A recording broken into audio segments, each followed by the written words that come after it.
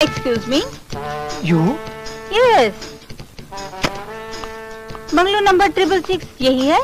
No वो है। Oh thank you